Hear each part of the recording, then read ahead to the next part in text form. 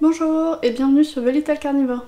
Aujourd'hui, on va parler d'alimentation crue et en particulier des os charnus. Comme ça a été présenté dans la première vidéo sur l'alimentation crue, il y a différents éléments dans l'alimentation crue, la viande, les organes, les os charnus, le poisson et les suppléments. Et aujourd'hui, on va parler des os charnus. Un os charnu, qu'est-ce que c'est? Les os charnus sont des os comestibles entourés de chair, de viande euh, autour et qui euh, viennent d'animaux qui ont une taille adaptée à un chat, donc c'est-à-dire des animaux qu'un chat pourrait chasser. Je sais que ça peut paraître bizarre de dire qu'il faut donner des os à manger à son chat, parce qu'on entend toujours que les os c'est dangereux, que ça va tuer votre animal, de jamais donner d'os de poulet, de jamais donner d'os de lapin, etc.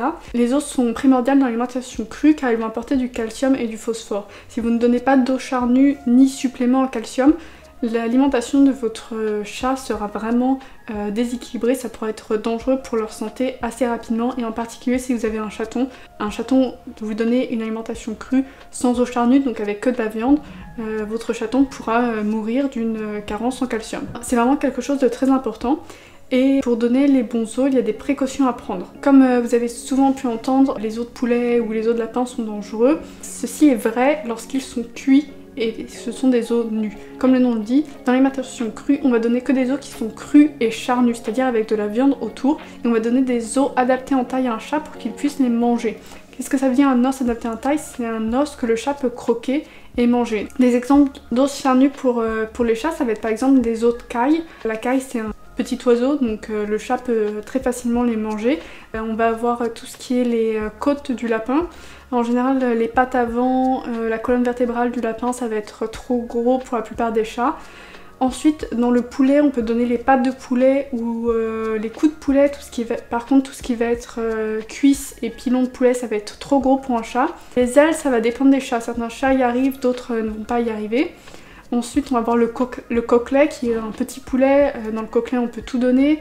vous pouvez donner des os de pigeon si vous pouvez trouver du pigeon. On va voir tout ce qui est euh, pintade, euh, ça fait à peu près la même taille euh, qu'un poulet, par exemple j'ai donné des, coups de pintade. Canard, les coups de canard c'est peut-être un peu gros, ça va dépendre de certains chats. Mais en gros, vous voyez l'idée, il faut s'adapter à un chat. Si vous avez un, petit... un petit quoi Si vous avez un petit, un petit siamois ou un gros Maine Coon, on ne va pas forcément manger les, les, mêmes os. Le gros Maine Coon, il va sûrement réussir à manger des amants de lapin, alors qu'un chat normal, les amants de lapin vont être bien trop gros. Donc euh, c'est vraiment quelque chose à prendre en compte.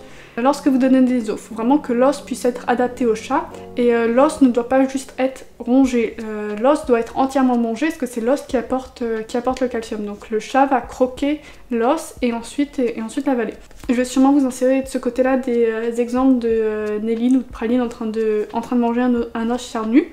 Je sais que c'est quelque chose qui fait souvent très peur aux propriétaires lorsqu'ils commencent l'alimentation crue, mais euh, c'est vraiment quelque chose de, normal lorsqu'un chat il mange une proie. Lorsqu'un chat mange une souris, il va la manger en entière, en incluant euh, bien sûr les os, puisque euh, c'est leur source de calcium dans leur alimentation. Les chats ont des besoins très importants en calcium, et c'est pour ça qu'ils ont vraiment besoin de manger les os, et non pas juste de les ronger.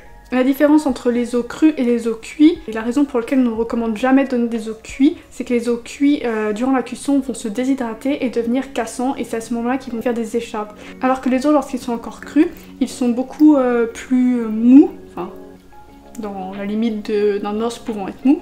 Et donc euh, lorsqu'il se casse un morceau, il va pas faire des écharpes, mais il va faire des petits morceaux qui ne sont pas dangereux puisque on donne un os charnu et donc la viande entoure l'os qui euh, ne va pas être dangereux. Le risque lorsque les os ne sont pas adaptés au chat, c'est que le chat essaye quand même de les croquer et qu'il puisse euh, se casser des dents. Donc si vous donnez des os de bœuf ou des os de porc, le chat pourra se casser les dents en essayant, en essayant de manger l'os si le chat essaye. Donc les chats peuvent manger des os, néanmoins il n'y a, jamais de risque zéro, de la même façon qu'un chat peut s'étrangler en mangeant des croquettes. Les accidents peuvent arriver avec des os charnus. C'est pour ça que lorsque vous donnez des os charnus à manger à votre chat, il faut toujours que vous euh, supervisiez votre chat pour être sûr euh, qu'il le mange correctement. En particulier certains os comme les coups qui ont une forme allongée. Faites bien attention lorsque vous donnez à votre chat, certains chats ne les croquent pas correctement et donc vont les avaler pratiquement tout rond et donc euh, l'os peut venir se loger dans l'œsophage et étouffer votre chat. Euh, dans ce cas-là, ne donnez euh, pas du tout d'os. Par contre, si euh, votre chat n'a aucun problème à manger ce type d'os-là, vous pouvez continuer à en donner. par exemple, Néline et Praline les mangent très bien, donc il n'y a aucun problème en donner. Il faut vraiment que vous adaptiez à votre chat et, à sa capacité à manger des os correctement. Et bien sûr de toujours superviser car on ne sait jamais ce qui peut arriver lorsque vous nourrissez vos chats. Même si il ne faut pas oublier que manger des os c'est naturel, votre chat il mange les oiseaux et les souris en entier. Et s'il ne mange pas d'os, il, il, aura des déficiences en calcium. Bien sûr, il y a certains cas dans lesquels les chats ne peuvent vraiment pas du tout manger d'os, dans les cas où ils sont pas dedans, ou euh, ils ont des maladies dentaires, ou euh, quoi que ce soit d'autre. Dans ces cas-là, il y a d'autres possibilités comme des compléments en calcium que je développerai euh, dans d'autres vidéos dédiées à ça. Il y a aussi la possibilité de hacher les os. Hacher les os n'est pas forcément recommandé puisque Manger des os charnus est naturel pour le chat, ça lui permet une stimulation mentale. Le fait de croquer est un comportement naturel qui le stimule et l'action de croquer des os peut aussi euh, pour certains chats être euh, nettoyant, c'est-à-dire que ça va les aider à nettoyer leurs dents et à enlever le, tartre. Ça va pas forcément marcher pour tous les chats, euh, en particulier les dents arrière, ça va souvent moins bien marcher, mais en général les chats nourris au cru vont avoir des dents bien plus propres que des chats qui mangent des croquettes ou de la pâtée, du moins les dents avant. Donc les os, ça va être comme pour la viande et pour euh, les abats, c'est mieux si vous pouvez en donner une diversité euh, d'os charnus. En particulier, il va, euh, il va, falloir faire attention à tout ce qui est cou. Comme le cou contient souvent des glandes thyroïdiennes, donner que des coups pourra entraîner des problèmes d'hyperthyroïdie chez les chats.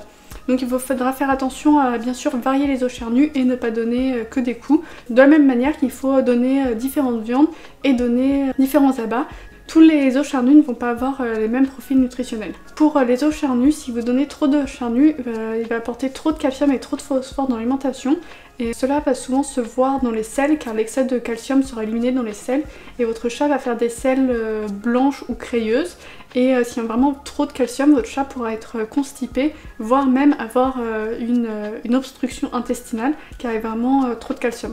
Donc pour les os charnus, il faut faire attention à ne pas en donner trop. La quantité d'eau charnue, ça fera sûrement partie de la vidéo où je vais parler des différentes quantités euh, de viande là-bas. Parce que donc dans un...